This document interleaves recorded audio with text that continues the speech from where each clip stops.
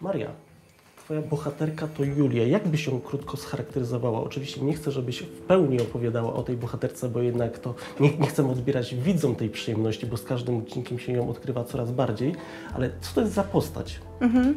Mm, tak, odkrywa się coraz bardziej i z każdym odcinkiem też się zmienia, tak bym powiedziała. Więc na samym początku, jeżeli bym miała użyć jakichś e, określeń wobec niej, no to pierwsze co do mnie przychodzi to pogubiona, em, samotna, przewrażliwiona, przebodźcowana.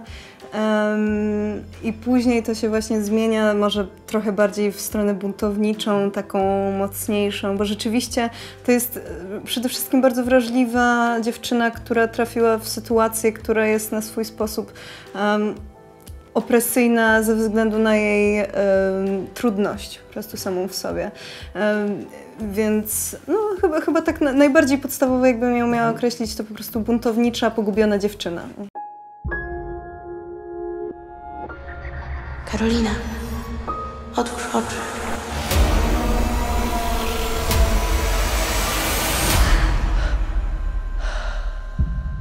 Nie wiem, kim jestem. Bo ona też odkrywa s- samą siebie tak naprawdę z każdym Tak. kolejnym odcinkiem i to też mi się podoba w tym serialu, że pomimo tej gatunkowości, trochę science fiction, trochę taki thriller, ale mamy tu też po prostu opowieść o dorastaniu, wchodzeniu w dorosłość. Mhm, mhm, tak, jak najbardziej. I y, wy, wydaje mi się, że to też było fajne, że mm, to w jaki sposób się kręci serial, y, oczywiście nie jest całkowicie linearne, nie jest to na tej zasadzie, że okej, kręcimy pierwszy, drugi, trzeci odcinek, tylko to się ze sobą przeplata, ale mimo wszystko mieliśmy ten podział na dwie transze, gdzie ja rzeczywiście y, mimo wszystko ym, grałam pewne rzeczy, które były dalej w rozwoju postaci później, Ym, a na samym początku grałam te rzeczy sama będąc w nieświadomości tego, co się będzie działo e, dosłownie za parę godzin. Em, tak samo jak Julka nie wiedziała tego, co się z nią dzieje w tym momencie i co się będzie z nią działo. Tak, właśnie trochę też o to miałem zapytać, bo często na przykład w serialach kryminalnych jest tak, że nie dostaje się do końca wszystkich scenariuszy, że jednak jest ukrywane to, kto zabił, kto jest tym złym. A jak właśnie było w Waszym przypadku? Czy wiedzieliście, w jakim kierunku będą zmierzać Wasze postaci od początku do końca, czy jednak było to, tak jak mówisz, odkrywane etapami? E, Od początku wiedzieliśmy to, wiedzieliśmy w jaki sposób to się będzie zadziewało, ale rzeczywiście no, to mogłoby być całkiem magiczne, jakbyśmy nie mieli tego świadomości. E, przypomina mi się po prostu ta scena, jest takie nagranie w internecie, jak Brian Cranston i Aaron Paul czytają tę ostatnią scenę Breaking Bad. Po prostu niesamowite. No ale nie, u nas to było e, rzeczywiście wszystko zapowiedziane i wiedzieliśmy, co się tam będzie działo. Co nie zmienia faktu, że jednak już doświadczenie tego bezpośrednio z, z drugim człowiekiem na planie jest czymś innym niż jak to się czyta, bo niektórych rzeczy zupełnie nie da się przewidzieć, nie, da się przewidzieć pewnych energii i em, nie da się przewidzieć tego, jaka interakcja zajdzie między ludźmi. Więc no, to było doświadczenie nowe na pewno. Ten ośrodek uchodzi za najlepszy w kraju. I z tego powodu dostajemy najcięższe przypadki amnezji. Wszyscy przez to przechodziliśmy. Ten ośrodek jest dziwny. Już pierwszy odcinek pokazuje, że bardzo ważna będzie relacja Julki i Adama. W jakim ona kierunku może iść? E, Każdym. Każdym, bo to są dwa różne charaktery, ba dwa bardzo mocne charaktery, więc to jest trochę tak, że t- z jednej strony jest tam między nimi jakaś chemia, e, ale z drugiej strony też e, wiadomo, jak są dwie jednostki, które są, no może ugruntowane to jest złe słowo w tym przypadku, ale em, są bardzo twarde, no to się pojawiają różne starcia, więc to może iść i w stronę czegoś bardzo bliskiego, ale też w stronę czegoś bardzo dalekiego. Czyli cały czas między waszymi bohaterami jest tajemnica, bo tak jak powiedziałeś, z jednej strony się ścierają, ale ja też mam wrażenie, że oni się uzupełniają na pewnych etapach swojej relacji, że to, co na przykład ma Julka, tego brakuje Adamowi, to, co ma Adam, tego brakuje Julce. Czy tak rzeczywiście jest? E, tak, wydaje mi się, że to jest bardzo trafne też pod tym aspektem, że mm, na samym początku sama praca z postaciami e, wprowadzająca była przeprowadzona przez Anię Jadowską. A Ania Jadowska bardzo dużo czerpie z psychologii Junga, która zakłada pojęcie animusa i anime, to znaczy pewnej cząstki naszej osobowości, która jest z mm, zobrazowaniem nas, tylko że w przeciwnej płci.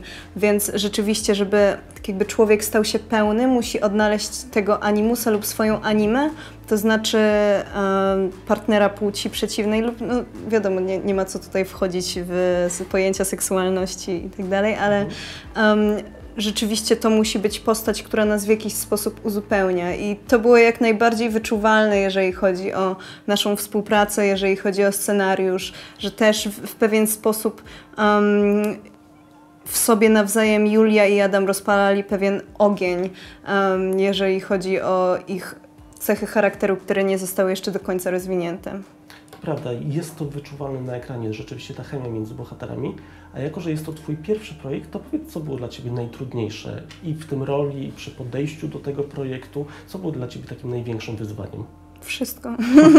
to znaczy y, ogół sam w sobie. Przede wszystkim najtrudniejsza była praca i jej ilość, bo jednak jako główna aktorka tego serialu miałam e, i wspaniałą możliwość, ale też bardzo wymagającą możliwość ku temu, żeby zobaczyć w jaki sposób wygląda tak duża ilość pracy, tak, tak długim ciągiem, gdzie ja rzeczywiście wchodziłam praktycznie no, jed, jako jedna z pierwszych na plan, e, wychodziłam jako jedna z ostatnich na plan.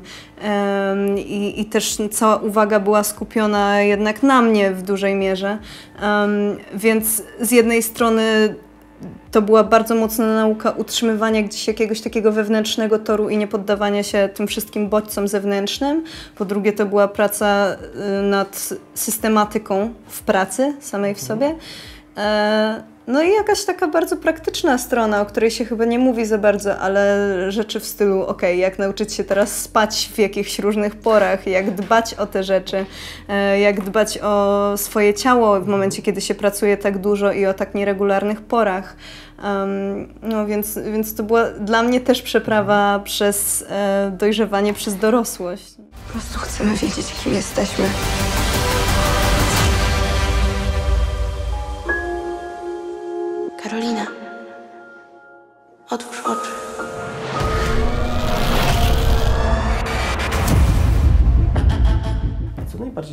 Cię pociągało w tym scenariuszu po jego pierwszym przeczytaniu? Oczywiście poza Twoją rolą, bo tutaj jestem bardzo ciekawy, co wzbudziło taką Twoją największą uwagę?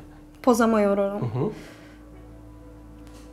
to, w jaki sposób ten świat jest skonstruowany pod aspektem e, tych rzeczy sci-fi właśnie. Znaczy, e, czy rzeczywiście to są nawiązania do Neuralinka Ilona Muska, czy to są e, na jakiej zasadzie, czy to są jakieś, nie wiem, fale elektroencefalograficzne, które wpływają na mózg e, i, i, go odczytują, czy em, w jaki sposób to będzie realizowane potem. No, Generalnie koncept jest przeciekawy, więc y, tam do grzebania i, i, i pytań było bardzo, bardzo dużo.